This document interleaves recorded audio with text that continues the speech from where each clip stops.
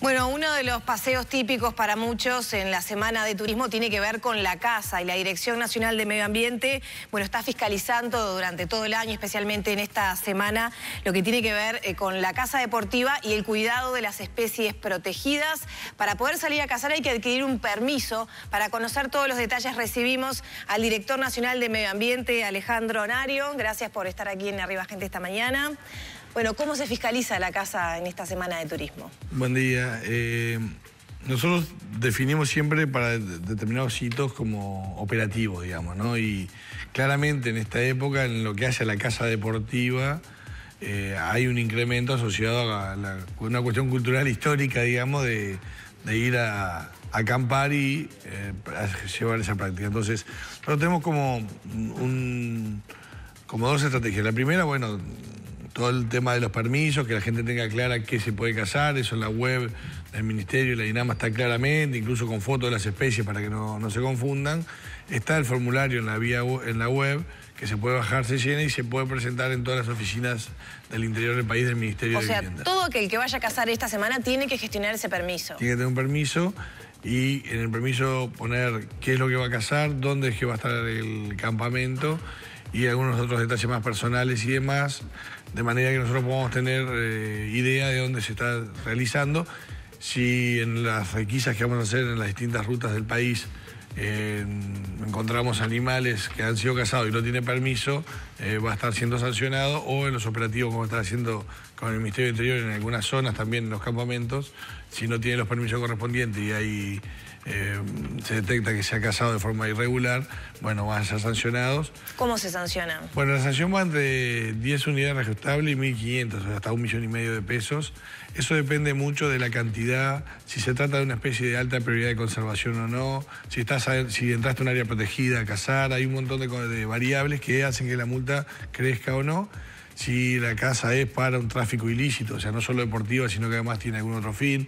Bueno, todo eso está reglamentado y deriva en una, en una sanción administrativa y además con la requisa de las armas y del utilizado para eso. Pueden ser vehículos, heladeras o todo lo que haya sido, sido utilizado para la casa, ¿no?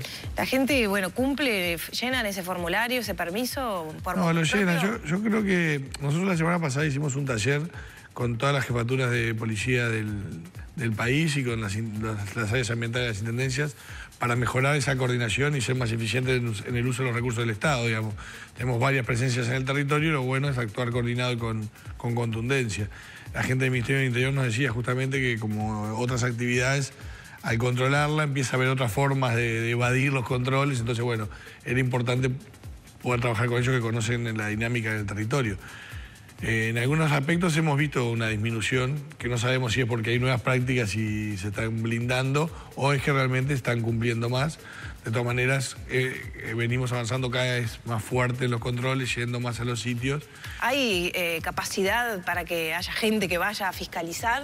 Bueno, por eso decía, la, la idea es coordinar entre todas las instituciones que estamos actuando. Nosotros hacemos un operativo especial, reforzamos con personas de otras unidades, no solo de la División de Fauna, sino con otras unidades de la DINAMA, eh, de manera de tener mayor capacidad, pero además coordinamos con el Ministerio del Interior, con las jefaturas en cada departamento y con las intendencias. Eso nos da una buena cobertura territorial y nos permite actuar, eh, por lo menos, en las evaluaciones que hacemos de manera adecuada. ¿no? ¿Cuáles son las zonas del país este, más concurridas por estas fechas para la casa? No, no, yo diría que, que es en todo el país. En general es una práctica cultural bastante arraigada. Lo que hay es un flujo muchas veces de Montevideo hacia distintos lugares del interior y de las ciudades del interior hacia las zonas de, más de campaña. Pero no, es en casi todos los departamentos, por eso no, no, hemos priorizado uno sobre otro. Aparte hay distintos problemas de conservación en cada departamento. Entonces, bueno, eso lo trabajamos. Y bueno, y después lo la otra pata lo decía, la, parte más cultural, la campaña de Casa Solo Fotos, más allá de que la casa permitida, nos parece que está bueno que culturalmente empecemos a tener otra práctica más allá de que esa especie quizás se pueda cazar, en realidad, si no la cazamos mejor, es una posición más institucional, digamos, si bien no te vamos a sancionar. Ese, mito, no sé si es mito o no, ¿no? Pero eh, que el carpincho es plaga, que se puede cazar. No, no, eso no es No hay... mejor no cazar. No, las plagas, lo que es, el jabalí y la cotorra, que son de caza libre, y bueno, justamente, eso sí tiene un control de... Hay un control de especies exóticas, que le llamamos, o sea, que va desde la famosa rana toro que estamos ahora trabajando a otras especies que se introducen al país, que al no tener enemigos naturales se desarrollan muy fuertemente y que generan problemas de diversos tipos en los ecosistemas y también para la producción. Entonces, bueno, eso de casa libre, pero las especies nativas nosotros siempre decimos que es más lindo llevarle una linda foto a tu hijo en una cabeza, ¿no? Eh, la casa deportiva más muchas veces ni siquiera es para comerlo, ¿no? No, no, no, es por el placer de la, cacería.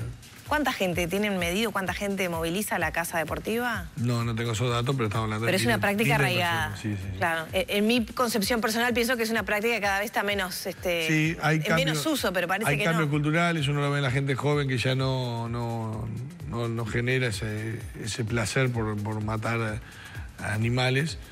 En Uruguay lo está reglamentado y más allá de mi posición personal que no, me gusta, me parece una cuestión más de la época de la barbarie, digamos, pero, pero bueno, hay un marco legal para hacerlo, eh, se puede hacer con especies que no afectan su, su población, pero bueno, siempre es mejor dejarlo ahí, por algo está, ¿no? ¿Esta es la semana del año que más se casa? ¿La semana de turismo? De la casa esa turística, sí. Después, nosotros tenemos varias líneas de trabajo. Tenemos el tráfico internacional de especies, sobre todo que nos ingresan de Brasil y Argentina, de, amazónicas y demás, que usan Uruguay como salida, que hemos eh, con Interpol trabajado mucho. Después tenemos todo lo que es el tráfico de, interno de aves, de captura de aves y venta para, uso en las casas, que eso es más permanente, digamos. Y eh, después sí, de la casa deportiva, que, que, es, digamos, en este momento es el pico.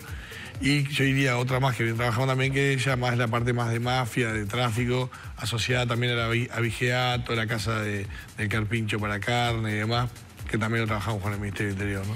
Eh, una cosa que nos quedó en el tintero, ¿este permiso se puede gestionar ya con el cuerpo del animal? No, si me olvidé hacerlo es antes. Previo, es previo, es previo. Ah, pero Hay que hacerlo previo de, antes de ir. ¿No hay nada que se pueda gestionar después de consumada la casa? No, no. Antes de, porque nosotros tenemos que poner dónde va a ir, qué va a cazar.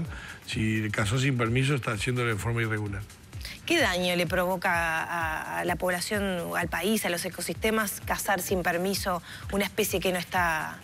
Lo digo, para entenderlo, ¿por qué se, se protege? y porque cumplen un rol, a ver, no, es esa, esa, especie que yo maté y... Bueno, hay algunas que son más sensibles que otras. Nos pasó que eh, introdujimos una especie que estaba extinta en el Uruguay como el pecarí y no fueron a cazarlo, ¿no? Eso ya es el extremo de la irracionalidad. Uno hace un esfuerzo como país de reproducir, aumentar y liberar una especie extinta y van a la casa, digamos. Eso es el extremo que no tengo ni que explicarlo, el, daño que hace a ese esfuerzo. Pero hay eh, muchas especies que tienen problemas de conservación y que tienen un rol en el ecosistema. Por algo están. Hay una cadena trófica, alguien se lo come o él come a alguien, entonces si vos alterás eso, terminás alterando toda esa biodiversidad y la salud de ese ecosistema. tienen un rol ahí, por algo están, y tenemos que empezar a valorarlo, ¿no? ¿Hay modas de cazar cierto animal u otro? No, hay distintos tipos de, cacerías, digamos, ¿no? Hay desde los cotos de caza, que viene gente del exterior a cazar patos, digamos, y pardillas, que era un tipo de cacería, y después la del campamento, que bueno, andan la vuelta de lo que está en su campamento, digamos, pesca y caza, lo que está en la vuelta, digamos. En cuanto a la pesca, ¿hay alguna restricción? Eh, bueno, no, es nosotros, sino la INARA que lo controla, pero si las restricciones están asociadas al tipo de pesca. No se puede pescar de, redes, esa, pesca, digamos, que depreda, que, corta todo el, arroyo o el, curso de agua para, para, para, filtrarlo, digamos, entre comillas, eso no está permitido, ese tipo de redes, y la pesca tradicional, ¿no? trasmayo, caña, esas cosas sí se pueden. Usted lo mencionaba y acá eh, hacíamos, este, comentábamos las noticias hace algunos días, esta situación con las ranas toro, ¿no? Los departamentos de Cerro Largo, 33, Maldonado. Maldonado. ¿Cómo puede ser que eh, criaderos fueron abandonados y quedan ahí las ranas y ahora están... Bueno, son de las cosas mal hechas y las que hay que aprender. En realidad hoy sería imposible porque nosotros tenemos, tendría que pasar por un control de ingreso de esa especie exótica por un control de la dinama.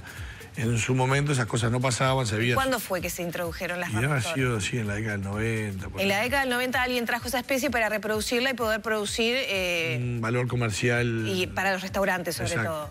¿Y dónde están instalados sobre todo esos? No, bueno, estaban en esos dos sitios, se, cerraron, se fueron, no, hubo lo que había que ¿Son dos criaderos nada más o hay más? No tengo bien los datos, pero creo que estarían en dos partes del país. Los focos sí están en dos lugares, así que yo estimo que eso es así. Pero lo que sucedió es que cuando pasa eso hay que tomar determinaciones sanitarias y sacrificar los animales exóticos que quedan. Porque es, es un animal de gran porte que desplaza y en algunos casos se come los anfibios naturales. Entonces empieza a generar un problema en un ecosistema que no estaba acostumbrado a esa especie. Y bueno, es lo mismo que cuando pasa cuando se caza, digamos, ¿no?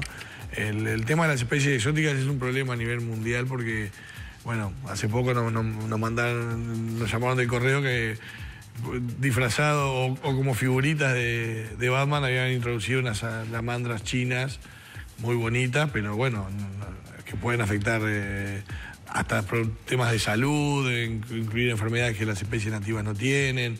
Y bueno, eh, la verdad que hay gente que le gusta coleccionar cosas raras y, genera problemas, ¿no? Claro, nos enteramos después de que ya están acá, ¿no? Y ahí pasan problemas como que hay ranas toro comiéndose cultivos y, otros seres vivos.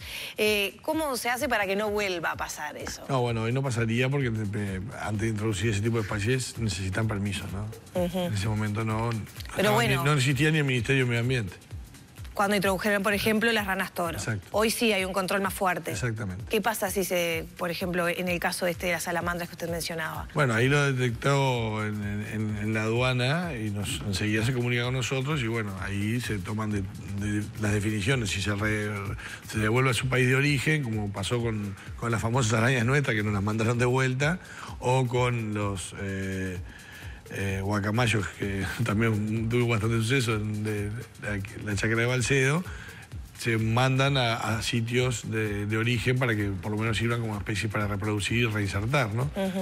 Bueno, en algunos casos también se puede llegar al sacrificio si no hay otra solución y, bueno, es mejor que, dejar que crezca la naturaleza. Bien, ya vamos a terminar y no está previsto, pero bueno, eh, justo el otro día realizamos una nota de, un grupo de ambientalistas, Movimiento por Uruguay Sustentable, que hablaban de eh, la filtración de, sustancias tóxicas en el acuífero en las perforaciones de Petrel en Cerro Padilla. Eh, tiene que ver sobre todo con el agua y la dinara, pero de todas maneras ahí alerta a la población, ¿no? Siempre vamos atrás de los controles y de repente un día pensamos que estaba todo bien y se está haciendo una exploración y se, nos, atrás, de hecho, se nos contaminó el acuífero. ¿Cómo, cómo estamos controlando No, eso está bien y de hecho lo detectamos nosotros. Ellos salen porque nos hacen un pedido de información a la Dinamo y nosotros le dimos la información que es pública. Los ambientalistas este, denunciaban demoras. Este... eso no es cierto y además eh, se ha venido monitoreando qué sucedió. Por suerte eso no llegó a los acuíferos.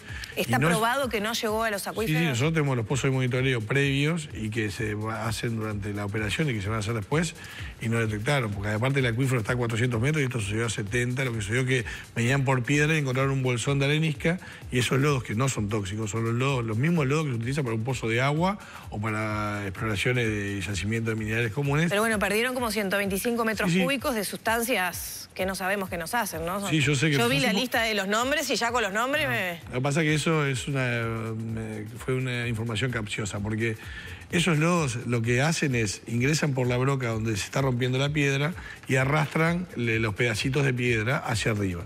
Ese lodo que, de esa pérdida básicamente era arcilla y algún otro compuesto más, o sea, no había ningún compuesto tóxico y tienen ese objetivo. Y, y, ese tipo de perforación no es distinta a la de un pozo de agua que hace cualquiera en un campo, porque la lógica es ir sacando lo que la broca va rompiendo. Cuando se llega al yacimiento, Ahí sí, que estamos hablando de 800 metros, ahí sí ya se dan otras lógicas distintas y otras eh, precauciones. Pero además, eh, cuando atraviesa la zona del acuífero, que se hace también en los pozos de agua, se entuba y se cementa. Eh, entonces, no hay contacto entre lo que pasa en el medio y los acuíferos. Había un bolsón de arenisca, ellos venían en la piedra, no lo detectaron, y ese lodo, que era poco denso, se fue hacia la arenisca. Lo que nosotros verificamos es si esa arenisca tenía contacto con, los acuíferos o no, y no se ha identificado. No tuvo. Pero además, no es un lodo tóxico. Es el mismo lodo que usa cualquier eh, en un pozo de perforación para agua o para hacer exploraciones de, minerales. O sea que el acuífero está en buenas condiciones. Sí, sí, sí. Como decía, está a 400 metros y esto fue a 70 metros y no hubo conexión porque hay toda una capa de, de roca. Entonces a veces yo entiendo el rol de las organizaciones, pero tampoco está bueno desinformar. ¿no? Bien, y ya para terminar, eh, se, viene la semana, usted mencionábamos casa, diferentes este, actividades, algún mensaje para cuidar no solamente los que van a cazar, ¿no? sino quienes van a acampar, quienes van a disfrutar de las eh. playas, las dunas. Las famosas dunas. No, eso, que, que disfrute pero que no destruya. Yo creo que tenemos una naturaleza maravillosa y nuestros hijos y nietos tienen que poder disfrutarla. Ese es el mensaje y tenemos que ser responsables en lo que hacemos y en ver lo que hacen los demás también. Tenemos nuestro sistema de denuncias, así que si ven irregularidades, que se conecten con nosotros, www.bodmagubuy barra denuncias, marcan el, punto donde se hace la denuncia y la descripción y nosotros vamos a estar actuando. Muchas gracias. ¿eh? gracias a ustedes. Cerramos por acá la entrevista con Alejandro Nario, director nacional de Medio Ambiente.